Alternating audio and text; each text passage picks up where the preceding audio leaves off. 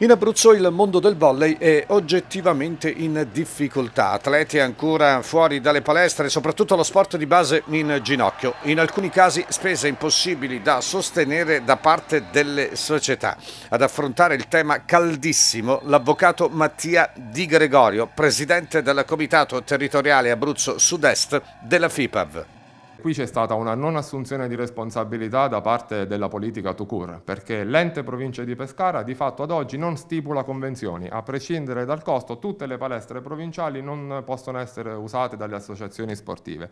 La provincia di Chieti invece di fatto ha dato la possibilità formalmente, o meglio non di fatto, di eh, utilizzare questi impianti, ma addirittura richiede, cosa non prevista da nessuna norma di legge, cosa che non succede in nessun'altra parte in Abruzzo, eh, una certificazione rilasciata da una ditta specializzata che sanifichi l'impianto ogni volta che la società la usa. Lei si immagini se ad oggi una società sportiva di base possa sopportare ad ogni allenamento un costo di 200 euro per sanificare un impianto con una ditta specializzata, quando potrebbero farlo loro con i loro macchinari. Sono allo stremo soprattutto le attività di base che sono quelle che no, subiscono i maggiori danni, perché sappiamo che c'è una moltitudine di bambini e di bambine che fanno attività e quindi il volley in questo caso.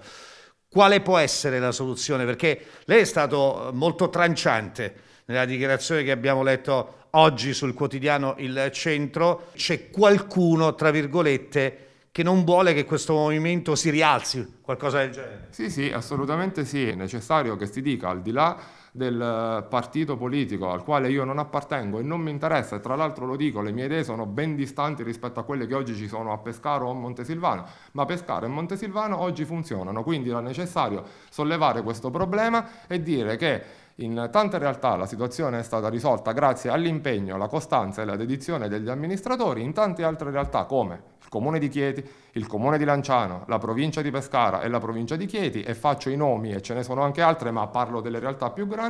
nessuno si è assunto la responsabilità di decidere. Siccome loro si sono candidati e hanno scelto di essere amministratori, amministratori vuol dire, amministrare vuol dire prendere delle decisioni. Rimanere in un limbo e non prendere decisioni non vuol dire amministrare. Chiudiamo dicendo che lo sport è di tutti e per tutti. Assolutamente, lo sport è di tutti e per tutti, come ho scritto nella lettera noi siamo felicissimi che ci sia attenzione allo sport di vertice perché lo sport di vertice è una vetrina, sono contento che a Chieti abbiano uh, sistemato la questione dello Stadio Angelini, siamo contenti di tutto questo, però gli amministratori non devono dimenticare che le realtà di vertice esistono perché esiste una grande realtà di base, se loro bloccano la grande realtà di base tra quattro anni non servirà più neanche lo Stadio Angelini perché noi saremo completamente fermi.